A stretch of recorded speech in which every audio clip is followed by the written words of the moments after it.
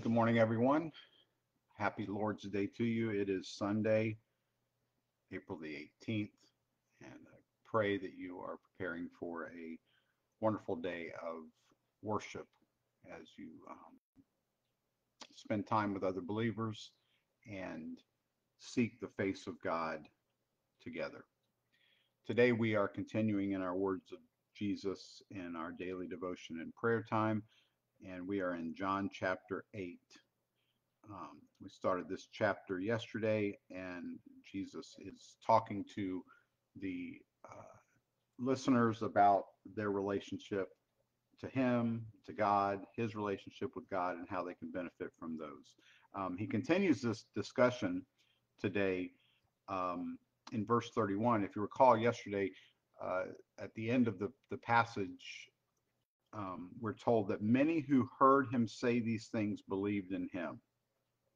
So in verse 31, Jesus continues and says, Jesus said to the people who believed in him, You are truly my disciples if you remain faithful to my teachings, and you will know the truth, and the truth will set you free. But we are descendants of Abraham, they said. We have never been slaves to anyone. What do you mean you will be set free?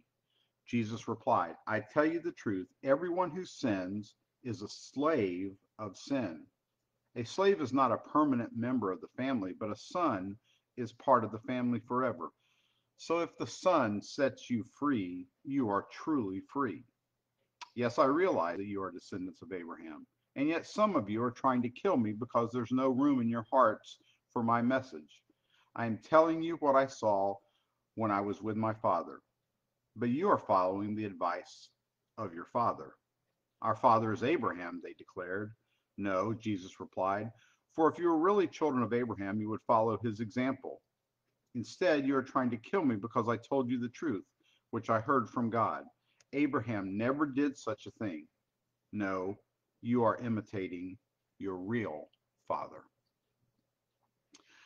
Very interesting um, dialogue here between Jesus and these uh, new believers. And I think it gives us a really good uh, idea of um, the transformation that needs to take place in a person's life when they first realize their need for Jesus.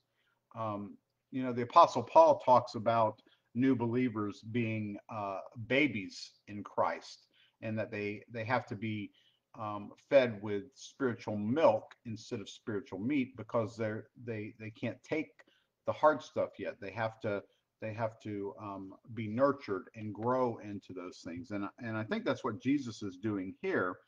Um, uh, first of all, he tells them something that I think many of us, uh, um, whether it's deliberate or not, I'm not sure, probably not, but um, many of us forget he says, You are truly my disciples if you remain faithful to my teachings. Often we're led to believe that all it, all it takes is to say yes to Jesus. Well, that's just the start to say yes to Jesus. Uh, the continuation of the process, which is a lifelong process, is to say yes to Jesus every day, to learn what his teachings are, and to remain faithful to those, to not just pick and choose the things that we find appealing, to not just pick and choose the things that make us comfortable, but to take all the teachings of Jesus and remain faithful to them. And once we do that, he says, and you will know the truth, and the truth will set you free. Um, then these people reply that they're children of Abraham, they're Jews. We haven't been slaves to anyone. And Jesus replies again, Jesus takes it spiritual.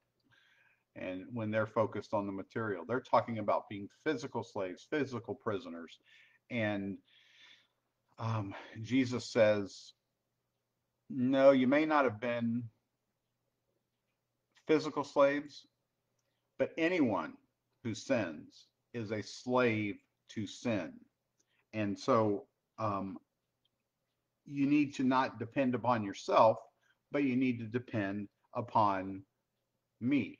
And he uses a comparison that that a a slave is not part of the actual family. a slave is uh, an indentured servant or or uh, somebody that simply does work that the the master requires, but a son is part of the family. And so Jesus compares the slaves to sin, saying that you really don't want sin to be a part of your life. What you want to be a part of your life is the son. You want Jesus to be a part of your life. And um, they just can't grasp this. Um, they Jesus says to them, look at the example of Abraham. And we see this in in uh, Hebrews chapter 11, where where we're told that uh, Abraham was such a great man of faith that it was counted as righteousness to him um, because because he simply believed God. And and this is what Jesus wants wanted for them, and it's what he wants for us. He wants us to know him, to to hold on to his teachings, to get to know him better every day and and just to to relinquish control that's a really good word relinquish control we all love to have control and what jesus is saying is let go of that control and give it to me. Let me lead and guide your lives. Let me show you the path to be on.